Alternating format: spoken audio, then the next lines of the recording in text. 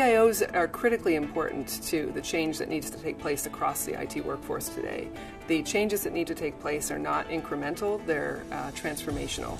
And so a CIO needs to be at the heart of driving those types of changes, particularly to meet the needs of a digital environment.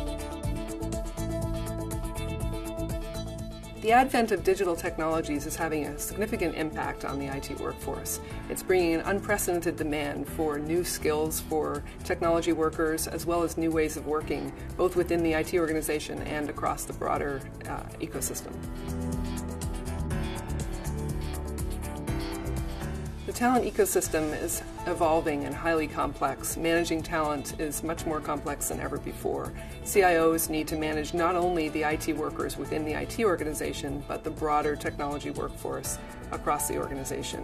Today's workforce is highly mobile and gl globally distributed, and that requires a whole new way of thinking about how to manage talent and how to manage that new workforce and how to source talent uh, for that workforce.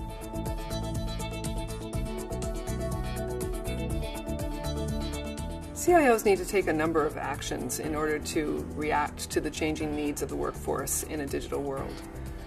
First, they need to reinvent the IT organization. They need to redefine IT's role as an orchestrator and driver of innovation working with the business. CIOs also need to adapt to a changing ecosystem. They need to fix legacy workforce issues and upskill talent and capabilities to be able to deliver multi-speed IT. CIOs need to create a new IT workforce mindset.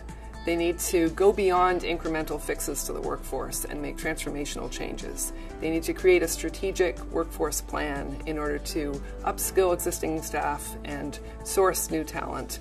They also need to embrace a new value proposition to be able to attract the highly selective workforce of the future.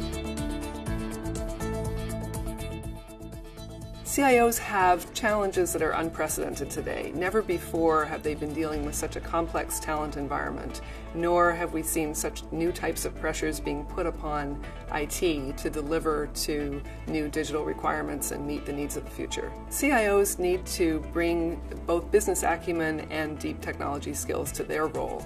And then within their organizations, they now need to balance the skills trifecta across business, digital, and technology capabilities.